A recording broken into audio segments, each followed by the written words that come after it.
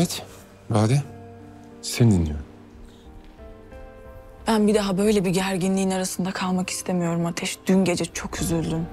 Nasıl bir gerginlik? Ya bak anlıyorum. Babamdan hiç hoşlanmıyor olabilirsin ama hiç olmazsa benim için biraz alttan alamaz mısın ya? Bu kadar üstüne gitme.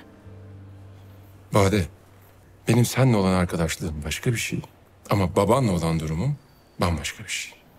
O yüzden baban konusunda sana söz veremem. Bunu benden isteme. Tamam. Anladım. Konuyu kapatalım. E evcilik oyunu nasıl gidiyor? Evcilik oyunu. Hmm.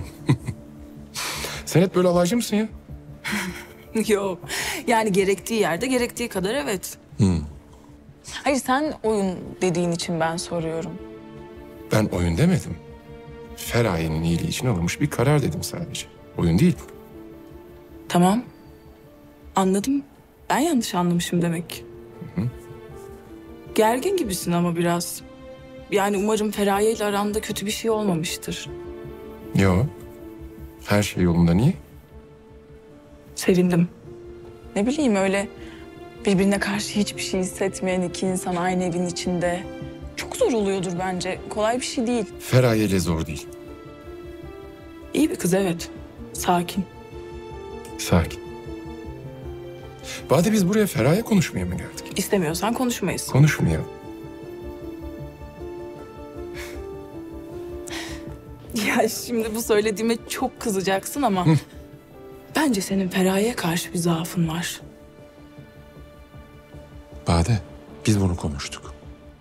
Ne dedim ben? Evet konuştuk. Özel hayatına karışılmasından kesinlikle hoşlanmıyorsun ama sırf bu yüzden böyle düşünüyorum zaten Ateş. Eğer öyle olmasaydı çok daha rahat olurdun değil mi? Ama ben Feraye deyince sen, sen bir duvar örüyorsun bana. Sen kendini bayağı bir kaptırmışsın bence. Bak hiçbir şey söyleyemiyorsun. Bade, Bu krizi yaratan nedir? Bade bak. Feraye benim tanıdığım hiç kimseye benzemiyor.